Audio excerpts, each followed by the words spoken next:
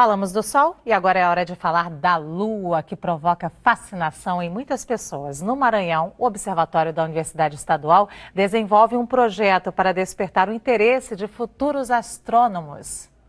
O Observatório Astronômico da Física da Universidade Estadual do Maranhão, OBAFIS, o EMA, realizou desde o dia 6 de dezembro o acompanhamento das mudanças de fases da Lua. São dois objetivos, essencialmente. O primeiro é o de cunho científico, né, desenvolver com os alunos já da casa atividades referentes à pesquisa que tange tanto a astronomia, dados, observação, como também a astrofísica, certo? E o outro viés é a questão da divulgação científica, né? Você até então vê a Lua, mas é só como um corpo isolado. Quando você tem essa noção mais próxima dela, é algo sensacional.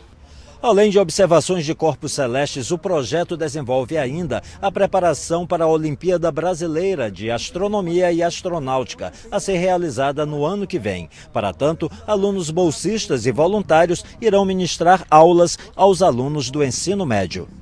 Ramon é bolsista e se diz entusiasmado com o projeto todos esses conteúdos estamos tratando em sala de aula para que esses alunos do ensino médio possam estar bastante preparados e poder tirar uma boa nota e futuramente poder até mesmo representar o nosso estado numa competição nacional.